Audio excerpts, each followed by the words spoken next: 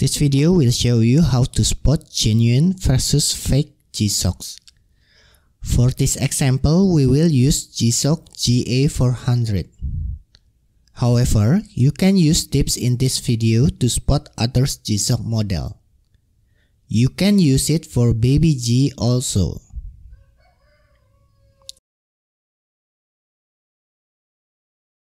Before we begin, the original straps for this watch is red color. I just replace it with the black one.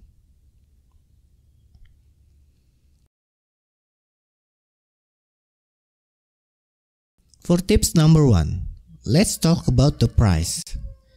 The original G-Shock or Baby G price is must be above $60. So, if there is someone offering you G-Shock under $60, I can guarantee you that it must be the fake one. Whatever the reason they tell, for example, it is a black market product, etc., the original G-Shock price is impossible under $60. The conclusion is, if the price under $60, it must be fake.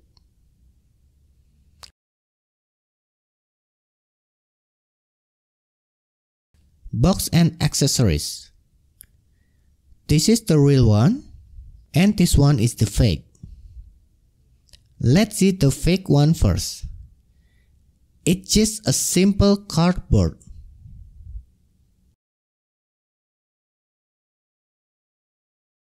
There's nothing inside. Usually fake G-Shock sold using this kind of box.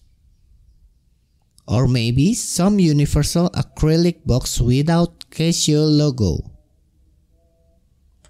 While the original G-Shock box usually looks like this. There's a barcode and type number of the watch. There is a thick manual book.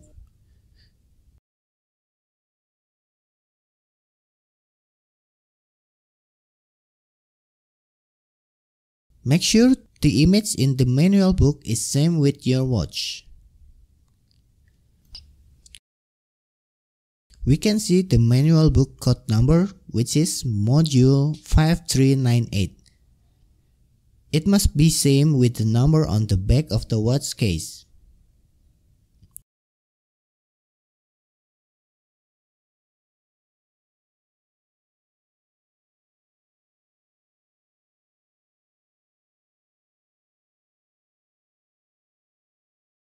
Then, there must be a warranty card.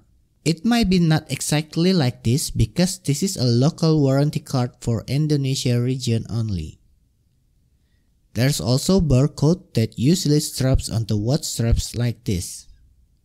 Let me explain a little about the watch code.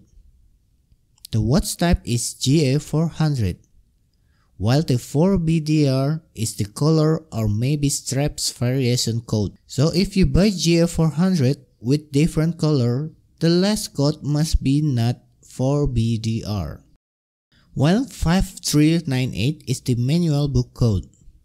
So if you lost your manual book, just type module 5398 on the internet and you can download the user guide. This is how the original box looks like. It made from tin can.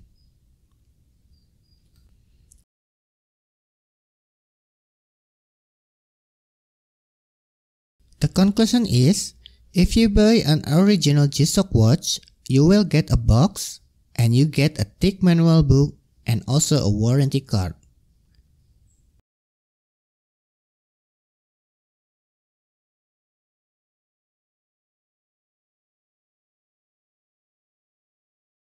However, there are some of replicate watch that have a very similar box like the original. Even they give the manual book like the original.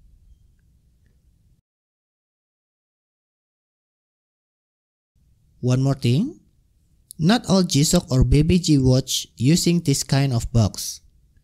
There are also some of Baby G or G-Shock that only use cardboard just like this one. The box actually looked like a fake one, but it's not.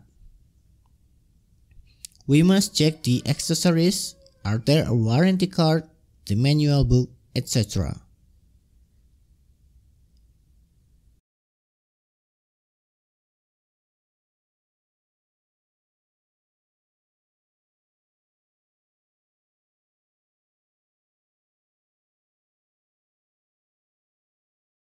Check the picture shown in manual book. It must be same as the watch dial. Once again, check the accessories. Even though we can't really 100% using this method, but at least you know what you should get when you buy a genuine G-Shock or Baby G. You should get the manual book, the tag, and also a warranty card.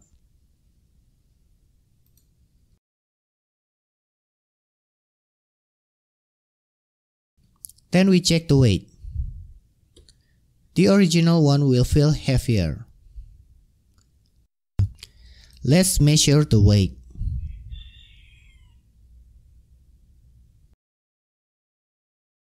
The fake one is 63 gram.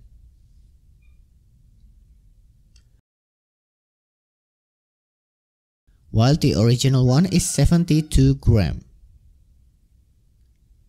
Maybe you will think it's not so different, but in reality, you can notice the difference.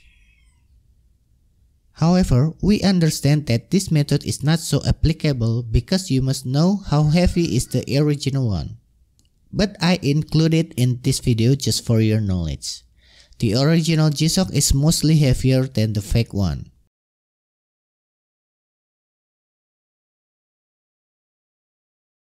This method only works for BabyG or G-Shock with double time or NADG which have an analog also a digital watch.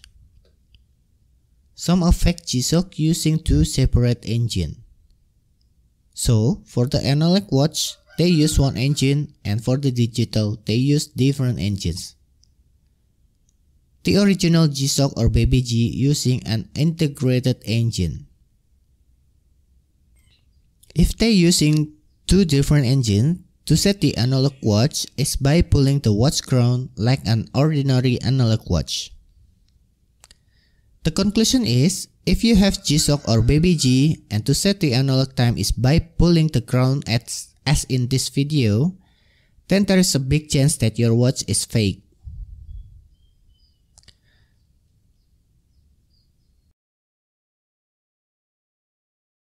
Now we talk about the build quality.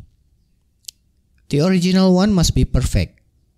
In other words, every part even the smallest one must look precision, smooth, and accurate.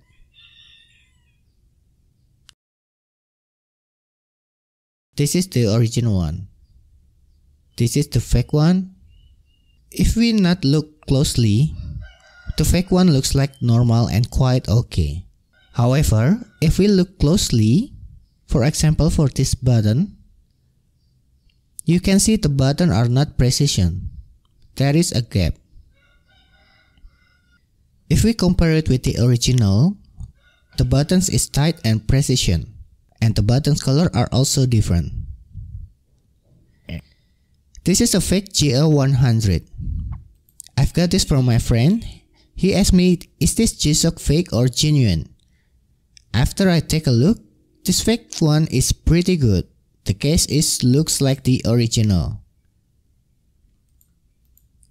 However, if we take a look, for example, this digital indicator, it looks slightly to the upper left position or not perfectly in center position. The original one must looks perfectly centered. It might look simple, but it is important to notice the fake one.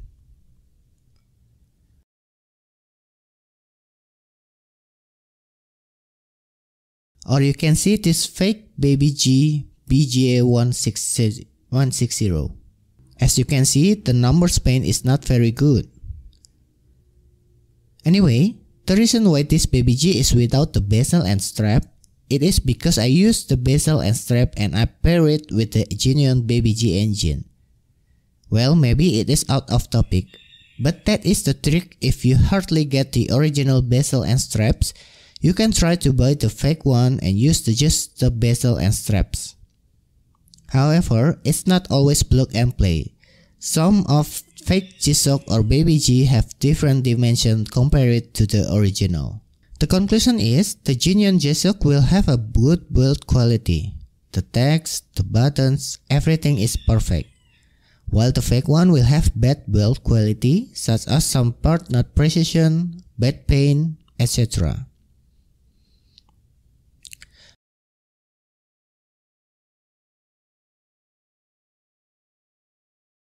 Now let's talk about the watch animation.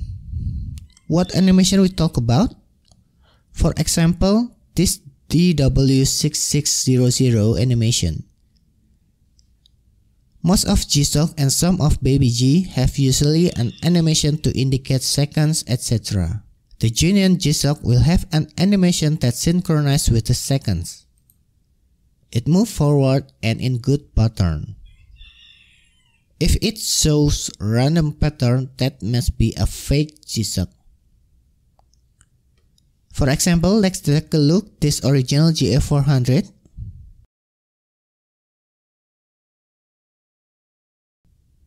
It also has an animation. As you can see, there's an animation that moves synchronized with the second.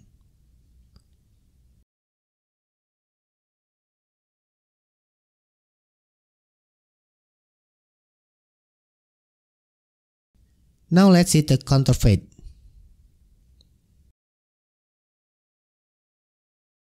Let me set the analog first to make it easier to look.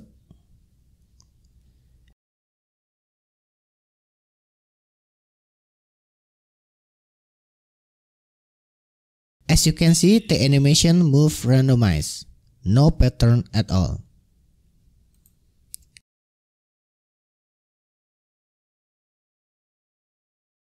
The conclusion is, the original G-Shock or Baby G will show harmonized animation pattern.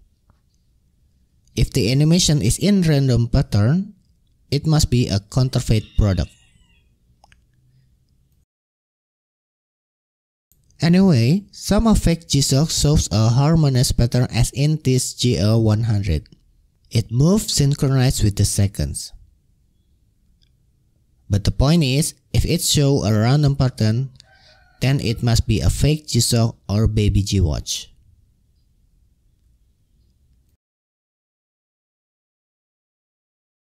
This time we will discuss about G-Shock or Baby G that have a small hand on the subdial like this. So, you must search on the internet the picture of the original watch. Pay attention for the original product does it have a small hand on subdial or not? For example, this fake GA400, it should have a small hand. But in this counterfeit product, it only show a fan-like animation.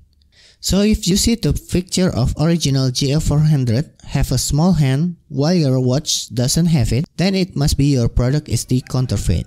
However, there are some fake G-Shock that look good like this GA100. The small hand on subdial looks real. I mean, there are some counterfeit G-Shock that also have a small hand but it is easy to tell that it's just for a show and it's just like a painting or something like that. But for this one, it looks good and looks real. Now, how do we know that this is real or not? The small hand on the original product must be have a function.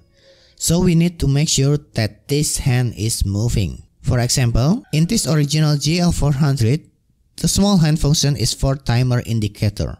If we rotate the crown, the small hand is moving. The conclusion is, if you see the picture of your watch on the internet have a small hand while your watch doesn't have it, then it must be you get the counterfeit product. Also, if there is a small hand in subdial, make sure the hand is working or moving.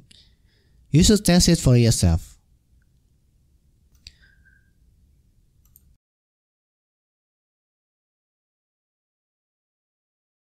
Now let's see the watch screen.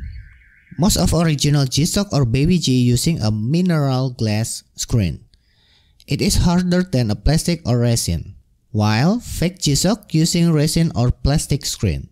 We can try to knock on the screen to know the screen material. If we knock on the counterfeit product, it will create a plasticky sound.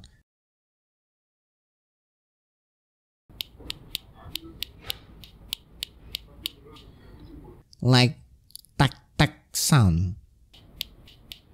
While the original was green, because it is using harder material, it will sound like a glass when we knock it. It is like tick tick sound.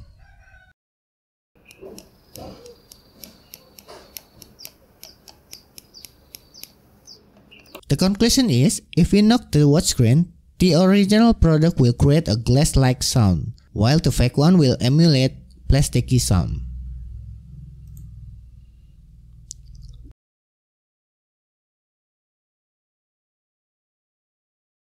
Let's talk about straps. This is the original straps from GA400. The original one will feel more elastic and comfortable to wear. While the fake one will feel more stiff, sometimes thinner, and also feel like a cheap plastic. The conclusion is the fake one usually using stiff straps while the original G-Shock straps will feel comfortable to wear.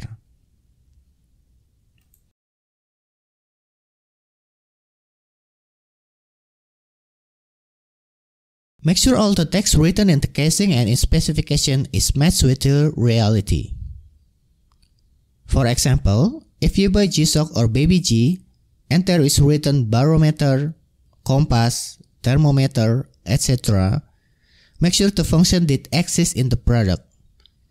So if the specification said it has thermometer, make sure that function is working correctly. Also, make sure all the buttons function is working accordingly to the text written in the watch casing.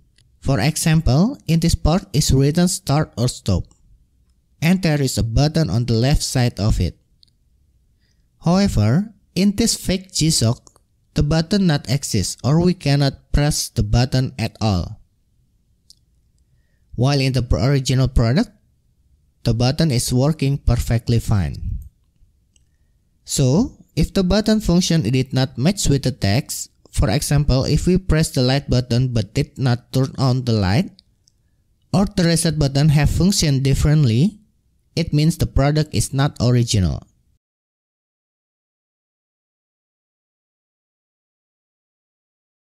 Currently there are fake G-Shocks that looks like real. One of the G-Shock type that mostly faked is the Iron Man series. One way to differentiate the original with the counterfeit ones is by activating the auto light feature. To activate it, press the light button for 3 seconds. It will show LT text at the display.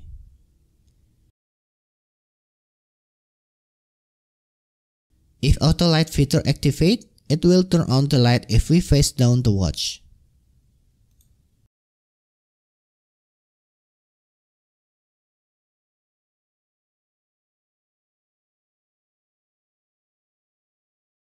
The counterfeit product don't have auto light feature.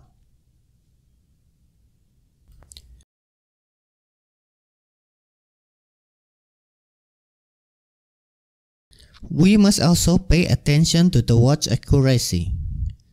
These tips only work after a week or a month usage. A real Baby G or G-Shock accuracy is less than 15 seconds a month. It is a maximum deviation. But the truth is, I'm wearing G-Shock for years and I don't have a problem with the correct accuracy.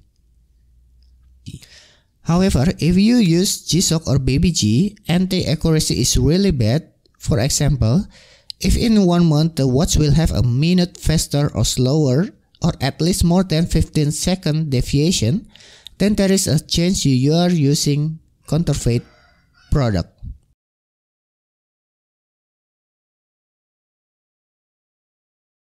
Some say the fake product straps will be more easy to change color or fade, but that is not 100% true. The original straps in my experience also change color pretty quickly. For example, this Baby G original straps, it already changed color. The bezel also changed color too.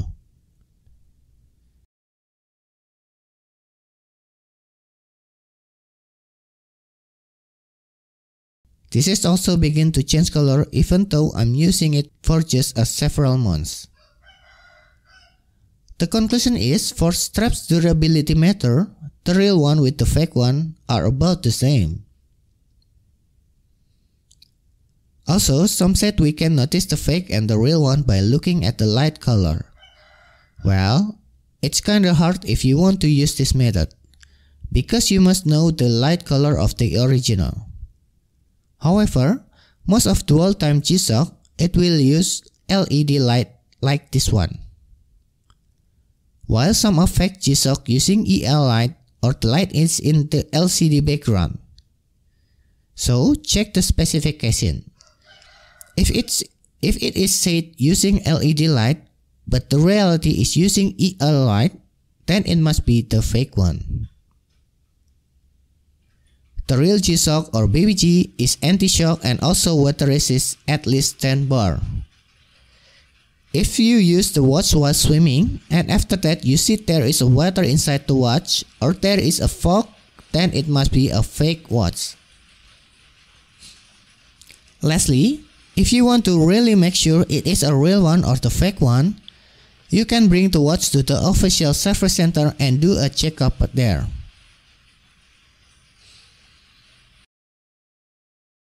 Let's do a flashback. For this GA400, it's really easy to spot that this watch is the fake one. First, the casing is not precision. It has loose button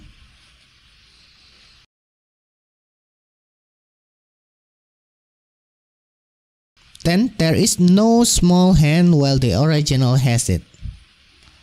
Also, the animation shown is in random pattern. It used two separate engine. If we sit at the back case, it is quite hard to notice the difference. However, the real one will have bold engraving than the fake one.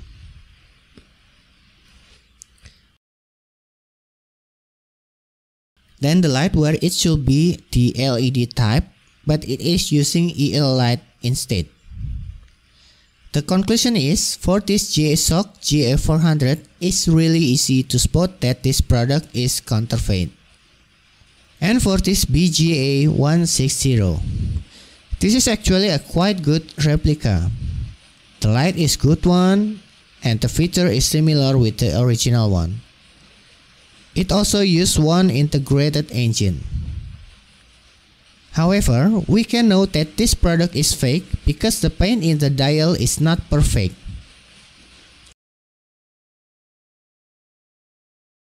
The back case is looks good but the weight is too light. While for this GA100, the digital animation position is not perfectly in the middle, and the small hand is not working. Also, it doesn't have an auto light feature.